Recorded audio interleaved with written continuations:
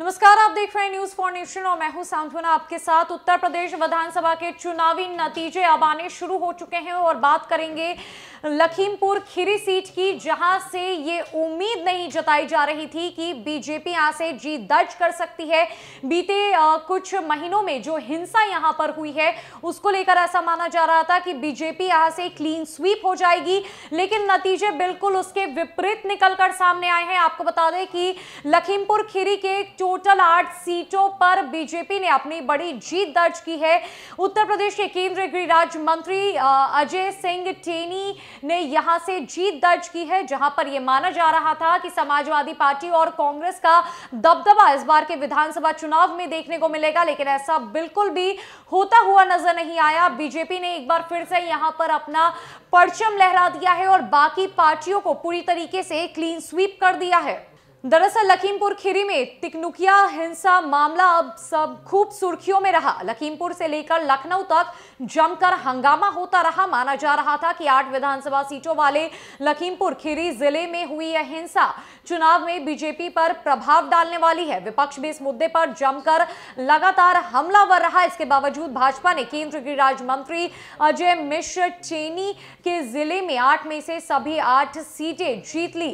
जानकारी के अनुसार लखीमपुर खिरी में पलिया विधानसभा सीट से बीजेपी के प्रत्याशी हरविंदर सिंह, साहनी रोमी कस्ता विधानसभा सीट से बीजेपी प्रत्याशी सौरभ सिंह सोनू, धौरहरा विधानसभा सीट से बीजेपी प्रत्याशी विनोद शंकर अवस्थी, श्रीनगर विधानसभा सीट से बीजेपी प्रत्याशी मंजू त्यागी, गोला विधानसभा सीट से बीजेपी प्रत्याशी अरविंद गिरी, निघासन विधानसभा सीट से बीजेपी प्रत्याशी शशांक वर्मा ने चुनाव जीत लिया है। लखीमपुर सदर सीट से बीजेपी प्रत्याशी योगेश वर्मा और मोहम्मदी सीट से बीजेपी प्रत्याशी लोकेंद्र प्रताप सिंह की जीत दर्ज हुई है। लखीमपुर खीरी ज़िले में हुई तिकनुकिया हिंसा सियासत में बड़ा मुद्दा बनी रही। चुनाव के समय ऐसी घटना लोगों के लिए सबसे बड़ा मसला भी रही। इंसाफ की उम्मीद तो दिखाई पड़ रही थी, लेकिन मन में एक शक था कि अगर पिता कुर्सी पर है तो कहीं उनकी ताकत और उनका रसूख इंसाफ के ढाल ना बन पाए। टिकनुकिया में हिंसा मामला राजनीतिक मुद्दा भी बनाने की कोशिश की गई।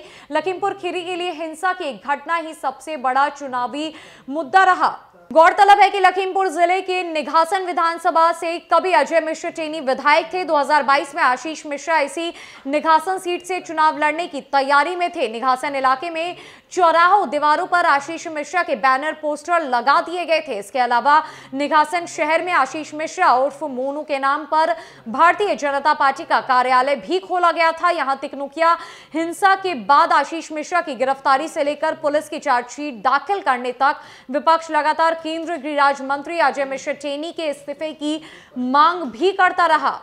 लखीमपुर खीरी में जो हिंसा घटी, उसको लगातार राजनीतिक मुद्दा बनाया गया और ऐसा माना जा रहा था कि भाजपा को इससे अच्छा खासा नुकसान हो सकता है। तमाम पार्टियों के तरफ़ से, विपक्ष दल के तरफ़ से हिंसा को राजनीतिक मुद्दा बनाकर लगातार उभारा जा रहा था। विपक्ष लगातार भाजपा पर हमलावर होता हुआ नज़र आ रहा था, पर इसका कोई फ़ायदा लखीमपुर खीरी सीट पर होता हुआ नज़र नहीं आया और भाजपा ने लखीमपुर खीरी के सभी आठों सीटों पर जीत दर्ज कर ली और और बाकी पार्टियों को क्लीन स्वीप कर लिया। इतना कि भाजपा के खिलाफ जो भी चीज़ें हुई, वो बिल्कुल भी लाभदायक नज़र नहीं आई। भाजपा का जो परचम है, वो उत्तर प्रदेश में अब लहराता हुआ नज़र आ रहा है। और इसका एक ये प्रभाव भी है कि लखीमपुर खीरी में भाजपा की प्रचंड जीत हुई है।